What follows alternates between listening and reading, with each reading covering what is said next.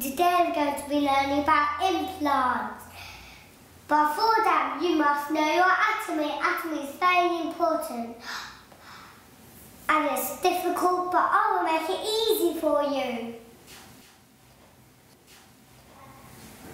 This, we'll start with the mandible.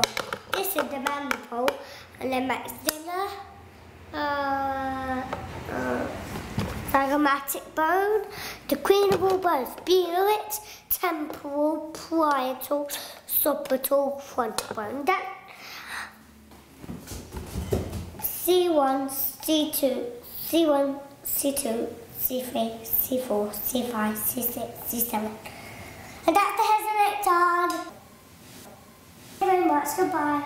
One day there was a little girl called Rapunzel. She lived in a baby tower. And day she tripped over her head and fell tooth. Poor Rapunzel.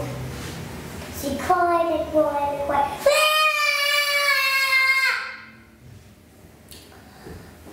Don't worry, you can have a denture. What's denture? This is a denture. Oh no! I'm not wearing Don't worry, you can have a bridge instead. Oh no, I'm not wearing a bridge. That is like a monster. If you don't want, I want to have an what's an implant? If you really want to know about that's what's my daddy's film?